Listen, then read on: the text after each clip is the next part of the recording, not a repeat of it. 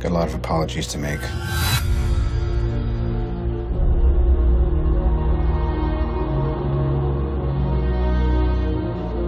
Nothing's been the same since New York. You experience things, and then they're over. I can't sleep. And when I do, I have nightmares. Honestly, there's a hundred people who want to kill me. I hope I can protect the one thing I can't live without.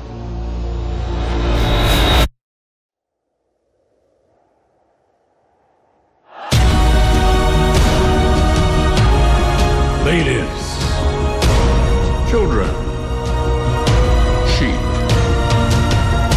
Some people call me a terrorist. I consider myself a teacher. Lesson number one Heroes. There is no such thing.